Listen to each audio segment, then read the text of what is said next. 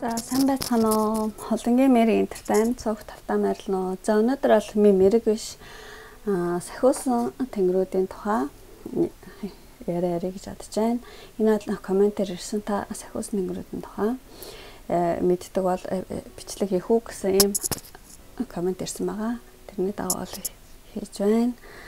За ингээд э, сахиусан тэнгэрүүдийг бол баруунд бол энжел гэдэг монголчууд бол эртнээс харсан тэнгэр, даасан тэнгэр гэж ярилцдаг. А мөн бол монголчууд дээр хүмүүс бол ийм хөзөөндөө ийм сахиус бол их зүүдэг байсан. Тийм болохоор зэрэг бол тий бүр эртнээс мэддэг, тий харилцдаг байсан баха гэж би бодож байна. За сахиус тэнгэр бол ихэнхдээ бол хүнд бол нэг хүнд нэг байдаг гэж бол хүмүүс боддог юм шиг аа. Гэхдээ яг тийм биш юм шиг байлаа. Ихэнхдээ бол тийм дөрвөн төрлийн э, сахиусан тэнгэр бол таныг даадаг, хардаг те тослож дэмждэг гэж бол те юу э, ярьдаг юм байна. А тэс сахиусан тэнгэр дөрвөн төрөл. Гэтэ заавал дөрвөн төрөл бол гэхгүй одоо юм юм дээ. Зарим хүнд бол нэг гэхдээ их цөөхөн гэж ярьд юм билээ. Нэг тэнгэр дөрвөн өөрийг бол бүгдээрин биелүүлдэг. Өөрийг бол тэр хүн дээртэй бүдэнтэй.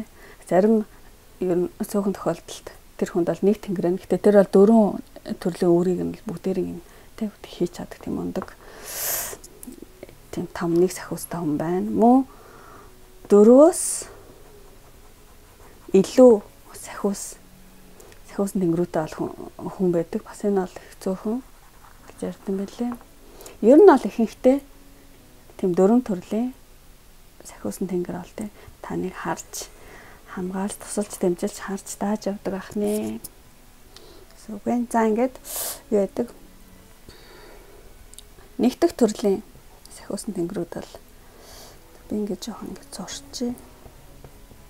За энэ сахиусан тэнгэр мэн бол тий таны юг хариуцдаг вэ гэхлээр за нэг бол ерөнхийдөө даасан тэнгэр. Даасан сахиусан тэнгэр гэжээ. За хамгийн ихний энэ сахиусан тэнгэр юу хариуцдаг вэ гэх юм бол таны бол амьдралыг бүхэлдсэн хариуцна. Хөлтжин хариуцна. А энэ энэ сахиус нэгний үүрэг бол юу юу гэхээр зэрэг таны сүнсний төрлийг дээшлүүлж тэ таныг гэгэрхт чинь туслах саад бэрхшээл сорилт сорилтыг танд өгдөг өгдөг байх нь. А гэхдээ бол сахиусан тэнгэрүүд бол таны давж гарч чадхааргүй тий ойлгож тий ухаарч тий татгааргүй тийм бол саад сорилт бэрхшээд бол ерөөсөө өгдөггүй та айгу хэцэн гэж бодож байгаа ч гэсэн таны бол дааж давж гарч чадхаар таны чадвар чинь тий тийм тохирсон саад сорилт өгдөг байх нэ. Одоо танд ямар нэгэн саад бэрхшээл зовлон байгаа бол та тэрийг давж гарч чадах танд бол хүч чадал байгаа гэсэн үг байх нэ. Ямар ч сан тийм бүр амар тэр хүний бүр чатгааргүй юм бол тэгэж бол тээ. Сайлт саад бэрхшээл бол өгдөггүй байх нэ. Тийм таны сүнсний чинь өсөлтөнд тийм хэрэгтэй саад сорилтыг өгдөг гэж ойлгоход олно. Эхний даасан тэнгэр бол тийм. За.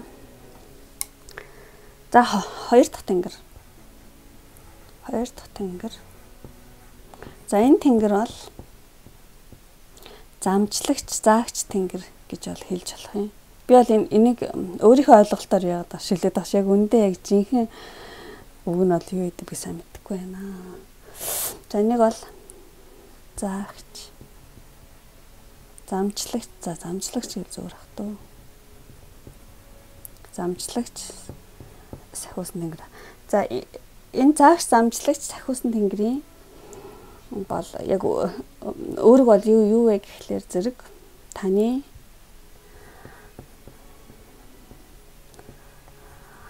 авиас чадвар ажил төрлийг чинь дааж хардаг байх нэ. Тэгээ загш амтлагч тэнгэр өөрөг бол таны авиас чадвар ажил төрлөө чи ерөөхдөө бол хариуцдаг юм юм тэнгэр ахна. За 3 дугаарт 3 дахь тэнгэр бол юу ах вэ гэхээр зэрэг хувь тавилан зай төргийг чинь тэ ерөнхийдөө бол тэ тэ харж хянаж тохируулдаг тийм тэнгэрийг бол хэлнэ. За энийг бол юу гэж хэлэх вэ гэхээр зэрэг тохируулагч хянагч гэж эхлээд зурна штэ нэр. За энэ тэнгэр бол таны хувь тавилан одоо зурсан зураг энэ гэж яд тэ. Тэр зай төргөөр явж гинүү яаж юм тэ. Тохируулагч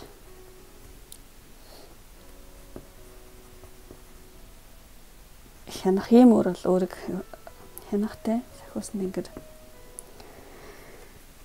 тэнгэр ахнэ.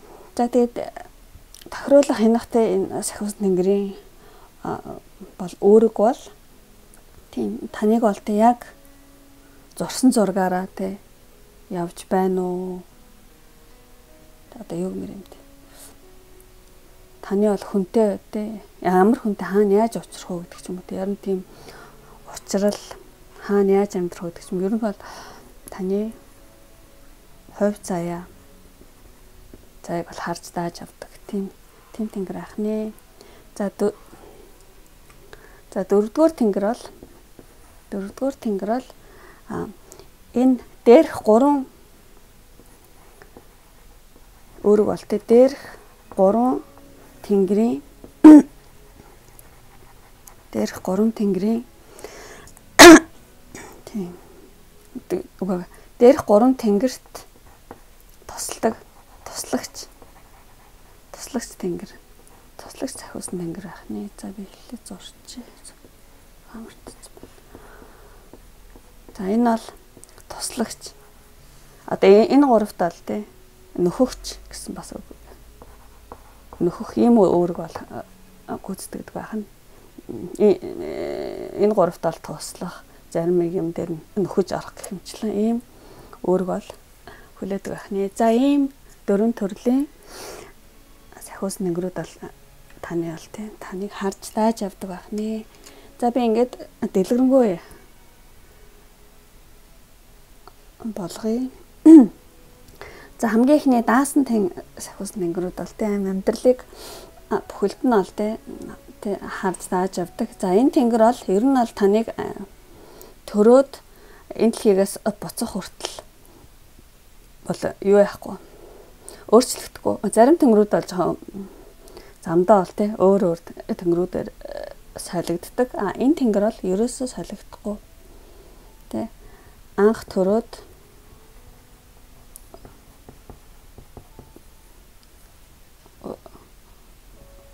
хөх хүртэл нэг тэнгэр нэг тэнгэрээрээ байна. За ингээд мөн мөн болоод таны сүнсийг ол дээшлүүлэхийн тулд тий гол гол үүрэг нь бол тий саад сорилт бол тавьдаг гэсэн тийм ээ. Тий нэг юм гол үүрэгтэй мөн таны бол тий давж хатгааргүй сорил нэг бол тавьдгуу гэж хэлсэн. Саад бэрхшээл зовлон бол танд өгдөггүй яг таны давж гарч чадхаар таны сүнснэж өсөлтөнд маш хэрэгтэй. Тийм сорилтуудыг тавьдаг юм юм тэнгэрэн. За ихэнхдээ бол нэг онцлог нь Монгол хүнд Монгол тэнгэр Япон хүнд Япон тэнгэр эмэгтэй хүнд бол тий охин тэнгэр эрэгтэй хүнд бол дайчин тэнгэр гэдэг ч юм уу те. Нэг жоохон тийм төрөлжтэй байна л да. Гэтэ яг яг тийм гэсэн үг бол биш. Одоо юу гэж хэлмээр юм те. Тийм Монгол хүнд бол Монгол тэнгэр өөр гадаад орны үед бол тэр нутгийн тэнгэр ихтэй хүнд бол охин тэнгэр хэрэгтэй хүнд дайчин нэг жоохон тийм жоохон бяцхан тийм төрөлждөг талтай. Мм гэхдээ бол ихэнхдээ таны 400-аас 700 жилийн өмнө амьдарч байсан өвөг дээдс 400-аас 700 жилийн 700 жилийн өмнө амьдарч амьдарч байсан таны бол бүр ингээд өвөг дээдс чинь байх байдгаа. Ер нь бол ер нь бол тийм таны өмнө амьдарч байсан таны гэгэрсэн өвгдөөц тийм гэгэрсэн өвгдөөц чинь байх бол тийм байдаг ихэнх нь. Тэгээ би хаяа боддtiin манай нөгөө нэг бөөнүүд тийм удгнууд дээр бууж ирж байгаа өвгдөөц нь ихтэй аюу дээрийн хүмүүс бууж ирдэг. Тийм чинь даасан тэмрүүд нь бууж ирээд байгаа болоо гэж би бас хаяа боддог. Гэхдээ мэдхгүй би сайн мэдхгүй байна. За юм байх нэ. Тийм. За Ингээд хоёр дахь нь. Хоёр дахь заагч замжлагч сахиус нэнгэр бол таны авиас чадар ажил төрлийг бол чинь бол дэ дэмжиж олоо тохируулдаг. Тийм үүрэг хүлээсэн. Ийм тэнгэр байгаа. Аа тэгээд одоо жишээ нь аль тийм урлагийн хүнд. Урлагийн хүнд. Тийм урлаг талын тэнгэрүүд бол тий танд бол тэг хурцэрч туслах. Та урлагийн ажил хийдэгтэй урлагийн хүн бол урлагийн авиас чадртай бол. Аа эмч хүнд бол тий ангаах тэнгэрүүд бол тий бууж ирэх. Өөр юу яах вэ тий ер нь бол та юу хийж гин яаж гин яг л тэр тэр тэнгэрүүд бол бууж ирдэг. Гэсэн үг юм байна. За одоо жишээ нь ингээд Франц хэлийг ийм санаж авъя л да. Франц хэл хэлийгтэй хичээ хичээнгүүл нь зааж байгаа тий зааж байгаа хүнд бол тий Франц хэлний тэнгэр тэнгэр болоо ойрт ирж туслаж дэмжих нэ нэг иймэрхүү утгатай тий ойлголтоор бол ойлгож болох юм. Тэгээ энэ бол заагч тамжлагч сахиусан тэнгэрт бол заавал таны өвөг дээд чинь байх ерөөс ямар ч алба байхгүй. Одоо жишээ нь улас үндэстэн эрэми алгаа тий химим ерөөсө байхгүй юм бол та юу хийж ин юунд тий хичээж ажиллаж тий юуг юу яж тэр тэр зүгийн тэнгэр бол бууж ирнэ гэсэн үг юм байна. За энэ дээр бас нэг юм ойлгох хэрэгтэй юм байна. Одоо жишээ нь тэр хүний авиас ажил төрөлдөнд тохирсон тэнгэр мэдээж даан тий энэчээс ингээ харахад тэрнээс гадна хүмүүс гайхаж магадгүй өөрийн авиас чадраас өөр ажил төрөл ингээ хийгээд явахлаар зэрэг ямар ч амжилт олохгүй гэсэн үгүй гэж бол асууж магадгүй. А гэхдээ бол энэ дээр бол санаа зовлтгүй. Үе үе бол заагч, замжлагч тэнгэрүүд бол солигддог. Шал өөр. Өөр тий солигддог. Аа яагаад тэгдэг вэ гэх юм бол тайлбарлахад бол тий Монголын маань зөөр цэцөөг байдаг. Эзэн хичээл, заяа хичээнэ гэж. Яг түүнтэй адилаар бол та тэр салбартаа тий ажилда үнэн сэтгэлээсээ сонирхож хичээж хийвэл тэр зүгийн одоо тийм тэнгэр бол тан дээр бол ойртож бууж бууж ирдэг байх нэ. За нэг жишээ авъя. За би бол балетчин байсан. Залуудаа балетчин байж байгаа. Тэг хүүхд гаргаад ч юм уу скол 30 өнгөрөөд ч юм уу тийм тэтгэвртэй гарлаа гэж одоо. Тэгээд дараа нь айгаа өөр салбарт бол тэг юу яхаар олъё. За би ингээд балетанд амар хичээгээд тийм тэр зүгийн тэнгэр намайг харж үзээд ингээд сайхан амжилттай ингээд явж итлээ ингээ гинт хүүхд гараад ингээд амьдрал өөрчлөгдлөө өөр салбарт ороод за би ингээ айгуу сайн хоол их туртаа тоогооч олё гэж бодъё. Болохоор шийдлээ. Тийм ч мэдээж эхний үед бол тоогоочин тэг юм хоол сайн их тийм юм бол байхгүй. Хэрвээ би тоогоочийнхоо тэг ажилдаа тэг үнэн сэтгэлээсээ тэг ажлаа хийгээд хичээгээд ингээд ерөөс анх ерөөсө чадахгүй байж байгаа мөртлөө маш хичээгээд оролдоод байж итл нэг өдөр л аягүй сайн болдог. Ер нь нэг л нэг өдөр ингээл анзаарсан чинь тий тэр салбартаа тэр ажилдаа нэлээд сайн болцсон. Нэг л өдөр би шеф болцсон байдаг. Яагаад ингэж яана гэх юм ба зэрэг таны бол тийм юу хичээж байгаа тийм салбартаа хичээж оролдож байгаа гэж энэ заагч замсаг тэнгэр хараад яг тэр авяас чадварт чинь тохирсон тэнгэрүүд тэнгэрийг ингээд илгээдэг байна. Тогоо чинь тэ хоол хоол яаж сайн хийх хөөдөг тийм. Тэгэд ми танлоо энэ тэ хоол хийх тийм тогоочин тэнгэр ойртоод ингээд ирэхэд та мэрэгчлээ маш сайн болсон байдаг. Тэгэд амжилт үзүүлэх чинь бол маш их. Тэг хурдан болно гэсэн үг. Тэг анх юу ч хийж чадахгүй ингээл хэдэн жил аягүй хичээгээл тэг өнөөс төглөөсөө хичээл оролдоод ажил нэг өдөр л дэвшээл дэвшээл шип болсон байдаг. Тэр чинь таны дэрэгдтэй хоол хийхдээ чадрыг сайжруулах тийм тэнгэр ингээд ирсэн байна хажуудсан байна гэсэн. Тэр үед хүн амжилт гаргах нэ. За нэг иймэрхүү маягаар л юу ойлгож болох юм байна. За ингээд тий.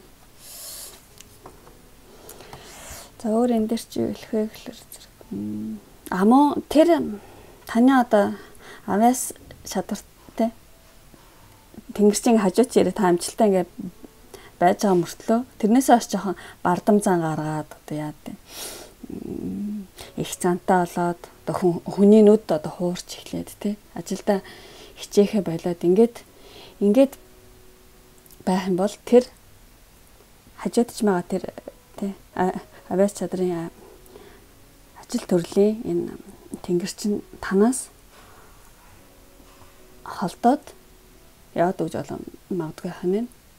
Яагаад гэвэл яах нь өө энэ уу ерөөсөө аюу юу ячиж их цантаа болсон нөгөө урдын тэ хичээдэг оролдог юм ерөөсөө э, байхгүй болчих. Би одоо ийм хүний хажууд одоо байгаад тусалж дэмжиж ямар хэрэг байна гэд сахиус нэгрүүд гомдоод ч юм уу тийм ингээд холдоод явдаг байх нэ.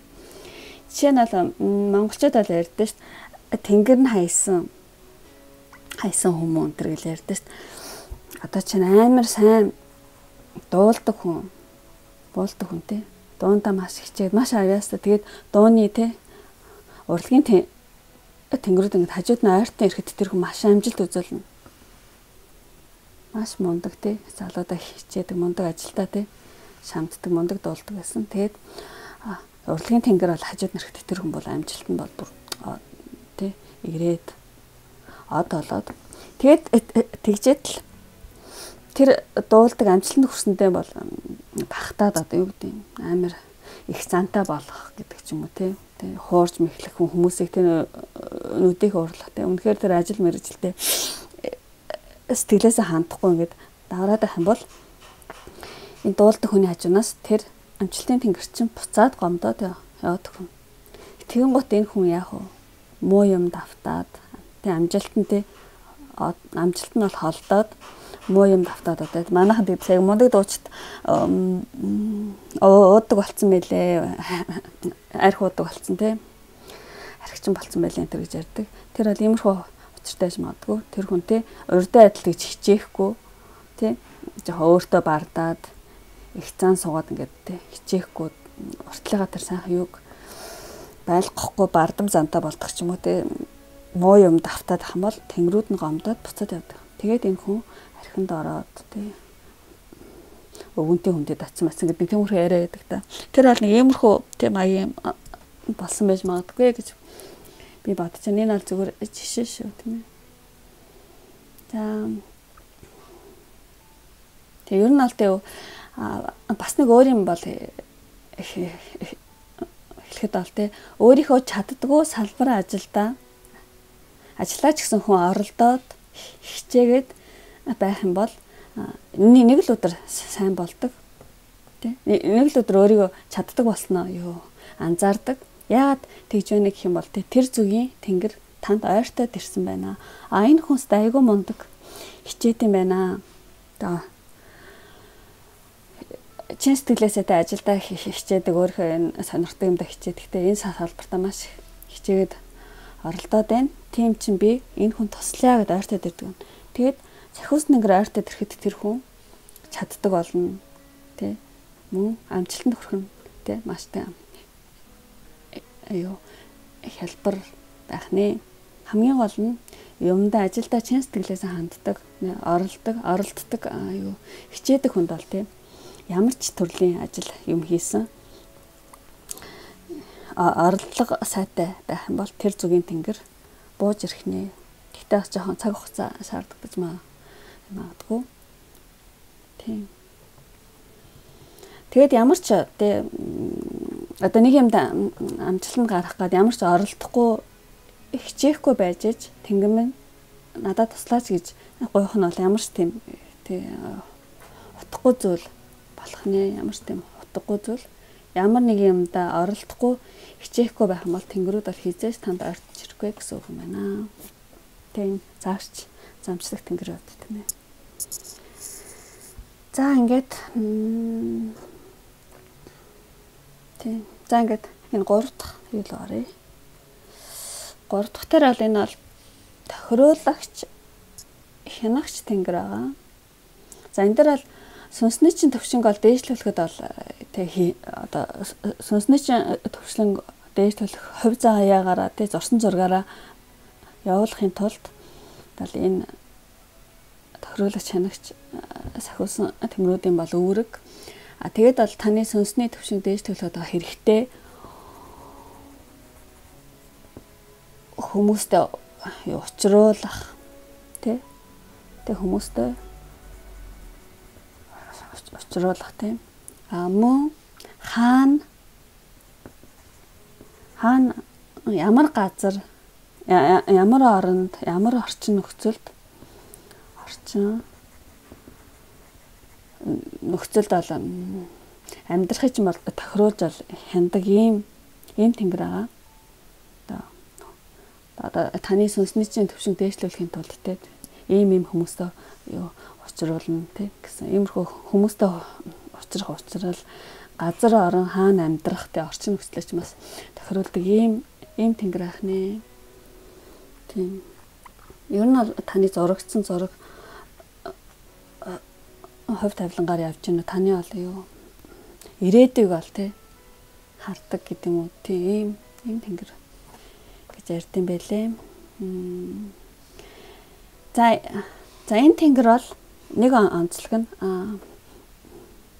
эдгээр тэнгэрүүд бол хөвчлэн болт хүний төрөл бол бүр өмнө нь авсан. Тэгээд гэгэрсэн болт ийм ийм тэнгэрүүд. А энэ бол хүний төрөл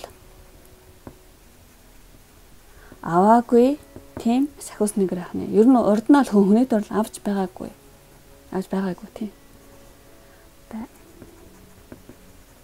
Авч байгаагүй ийм ийм сахиус тэнгэр ахна. Тийм. Ямар ч нэг хүний төрл авч байгаа тийм угаасаа л тийм сахиус тэнгэр. Ийм сахиус тэнгэрүүд байх нь таны хувь заяаг тийм чиглүүлэгч тийм зурсан зургаарч э, явуулах гад тийм тохируулах чанагч ямар хүнтэй уулзрах уу, ямар хүнтэй уулзрахгүй байх вэ? Ямар газар оронд амьдрах, ямар нөхцөлд амьдрах гэдэг чинь ер нь бол ерөнхийдөө бол хувь заяг бол тий. Даасан ийм ийм тэнгэр ах нэ. Мм тэгчээд ер нь бол ирээдүйг тий зурж өгдөг гэж бол хэлэхэд бол болох байх. За таны бол сүнсний те өсөл хөгжилтөнд бол таслахтай тийм хүнтэй отрол газар оронд амьдруулагч иймэрхүү юмнуудыг бол даасан тэнгэр ахны. За ингээд дөрөв дахь тэнгэр бол энийг бол туслагч тэнгэр гэсэн байгаа. Энэ дээр энэ гурван тэнгэрт бол те тусалдаг зарим дээр нь нөхөж орж өгдөг ийм ийм тэнгэр гэж өмнө нь хэлсэн. А тэгчээд бол энэ тэнгэрийн өөрөг болтой туслах. Дээрх гуравта өөрөг тийм ээ. А энэ тэнгэрүүд бол ямар урд нь бол мэдээж хүний төрөл авч ирсэн ийм тэнгэр байгаа. А гэхдээ бол ихэнхдээ бол юу яд юм бэ лээ. Энийг бол те таны ойрын үед бол те бурхан болсон ийм хүмүүс хөвчлэн байдаг гэж ярьдсан байлээ. Одоо таны өвөө, эмээ эсвэл одоо таны ах トゥ хамаатан садан ер нь бол жоохон гэгэрх төвшөндөө орсон тийм хүмүүсийн тийм хүмүүс байдаг гэж гэж ярьдан байлээ. За би өөр юу гэж яаж тайлбарлавал ойлгомжтой вэ? Тэг ер нь бол амьдралд ч чухал байр суурьтай байсан. Танил хүн ч ээж модгүй найс нөхд амар дотн найс нөхч ээж модгүй өвөө эмээ чинь тэг одоо наах заах ах их гэдэг ч юм уу те. Ер нь бол таны амьдралд бол чухал байр суурь эзэлдэг тийм хүмүүс хүмүүс бол хөвчлэн тэг ер нь э, гэгэрсэн тийм тэнгэр бол туслагч тэнгэрээр бол тий эрдгээ гэж үздэг юм байлээ. Тийм. Ер нь бол зурхаач юу үзмэрч хүмүүстэр очиход бол таны таны сахиусан тэнгэрчин бол таны өвөө байна, эмээ сквал тэр нь тий аавч маань ээч маань гэж хэлэх юм бол тэр бол э, энэ гурван тэнгэрийг бол хэрж байгаа хэлж байгаа зүйл биш. Энэ туслах тэнгэрийг бол хий хэлж байна гэсэн үг. Нүд саяхан тэ таныг бол юу гэдэг юм те. Амьд байх үед бол те бурхан болсон хүмүүс ах. Тийм гэгэрсэн ойр дотны чинь хүмүүс байх магадлал их гэсэн юм байт юм бэлээ. За та ба ингээд өнөөдөр дөрөн төрлийн сахиусан тэнгэрүүдийн тухай яриа ярьлаа. Тийм. За өөр чи энэ дээр бол э, нэмээд хэлэхэд бол ер нь бол юу? Ер нь хамгийн гол нь бол тийм эзэн хичээвэл заяа хичээнэ гэдэг тийм Монгол үг гэдэг.